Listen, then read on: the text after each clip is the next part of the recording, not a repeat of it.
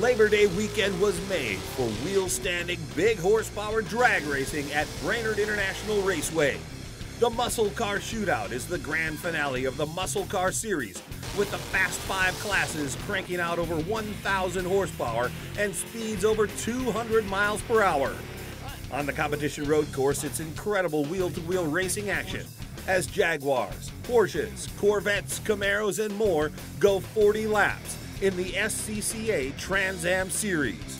Also on the road course all weekend will be the SCCA Jack Pine Sprints. Saturday night, Common Ground rocks the BIR live music stage. Open camping, family camping, and full service RV sites make BIR the ideal Labor Day destination.